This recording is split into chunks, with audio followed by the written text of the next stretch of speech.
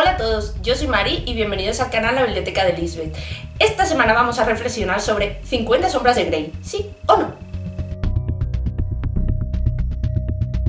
Al hilo del estreno de la segunda parte eh, de 50 sombras de Grey en el cine, creo que son 50 sombras más oscuras, me parece. Me he planteado y he recordado un poco cuando leí la trilogía, sí, yo he leído los tres y he visto la primera película y no me avergüenza decirlo porque para criticar algo hay que haberlo leído y conocido en profundidad. Creo que ahora puedo decir, viéndolo con perspectiva, que si bien me pareció un libro bastante machista y bastante denigrante para el género humano en general, tanto para hombres como para mujeres, y respeto muchísimo si lo habéis pasado bien leyéndolo y si os ha gustado, eh, creo que es la punta un poco del iceberg de todo el fenómeno literario que se generó después a raíz de esta trilogía. Porque yo empecé a leer literatura erótica, aunque para mí 50 sombras de Grey no es literatura erótica, es literatura romántica como siempre con una excusa. Quiero decir, es contar la misma historia de siempre, pero adornada con otras cosas, pero al final es la misma historia de siempre y no tiene nada de original.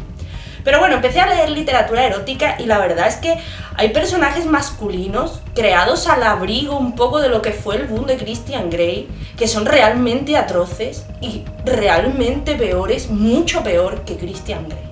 Concretamente hay una trilogía que yo nunca voy a decir que no leáis un libro, pero esta concretamente no lo leáis. Además esto debería de debería estar en las librerías con un aviso porque es tremendamente, o sea, denigrante para la mujer y para el hombre porque yo he conocido a muchos hombres a lo largo de mi vida y es que ninguno responden a este canon o arquetipo ahora moderno del millonario cargado de problemas, insoportable y que te va a controlar.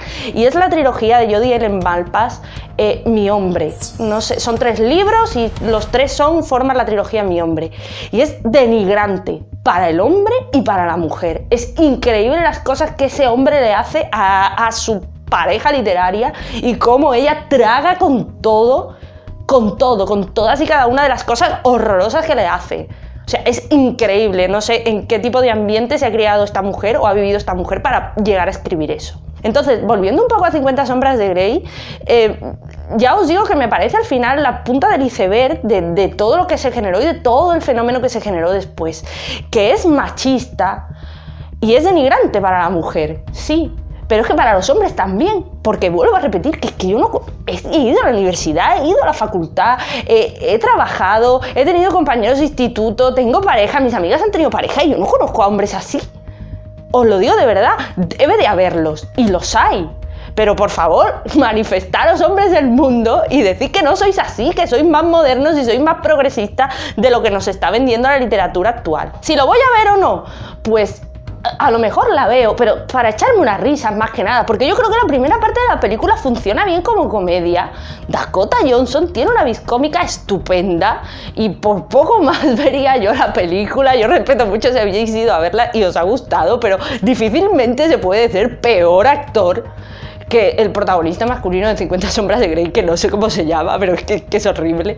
Y el guion es malísimo. Yo creo que es casi una película de estas películas que se hacen que parodian a películas famosas como Casi 300 o Los Muertos del Hambre. Y yo creo que 50 sombras de Grey, la película es como un poco la parodia del libro.